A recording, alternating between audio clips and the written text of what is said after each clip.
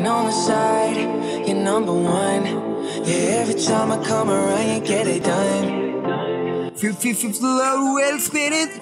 Hey, the hell spin a bit, like the match, get a little bit. Just set when the sunset gotta Yeah yeah Don't ask back my head My chest girl yeah yeah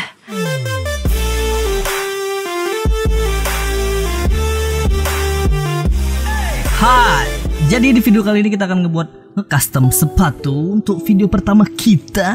Jadi di sini sepatu ada. SK8 sepatu aku udah lama aku pakai. Udah aku cat juga bagian sini bagian sini dan bagian sini dan ini udah nggak asli lagi maksudnya nggak asli dari awal aku beli. Sebenarnya ini warnanya pink ini warnanya putih ada list hitamnya ya seperti sepatu SK8 atau sepatu fans umumnya. Dan ini pun juga premium bukan ori karena ya lebih enak nge-custom atau ngecoret-coret sepatu yang premium aja. Biar nggak rugi banyak. Jadi mungkin ini sepatu ini aku bakal buat videonya di video selanjutnya guys. Karena ya seperti di thumbnail atau seperti di judul kita custom sepatu bukan sepatu yang ini karena ini posisi jorok lebih baik aku laundry dulu atau aku cuci dulu guys biar nanti biar lebih enak jadi sepatu apa yang mau kita cat dan sepatu apa yang mau kita custom kita akan custom sepatu yang ini Nah, ini dia guys sepatunya. Sepatu warna hitam, SK8 juga dan premium juga. Cuman di sini aku sudah cat warna putih dan sini putih. Kalian bisa lihat seberapa hancurnya sepatu ini. Nah, kalian tengok udah retak-retaknya. Di bagian sini juga kalian lihat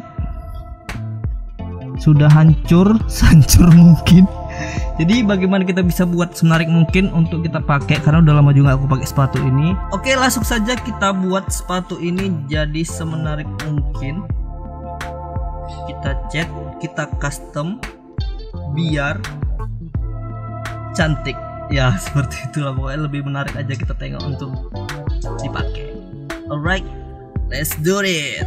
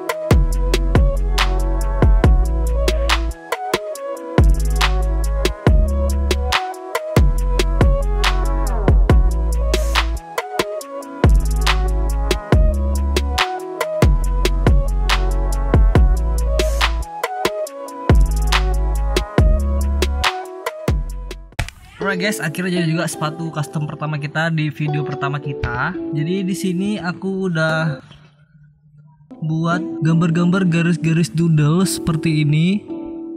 Ya mungkin ini namanya gambar-gambar doodles, cuman nggak tahu lah aku apa namanya. mungkin garis-garis doodle. Kalau kelihatan dari jauh lumayan oke dan mantul. Kalau kelihatan dari dekat hancur.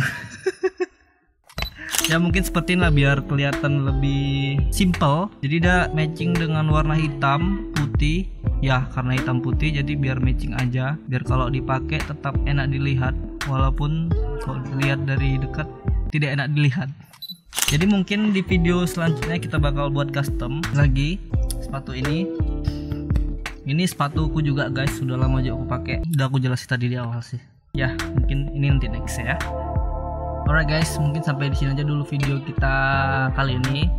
Jangan lupa tinggalkan subscribe, like dan komen. Oke, okay, bye bye.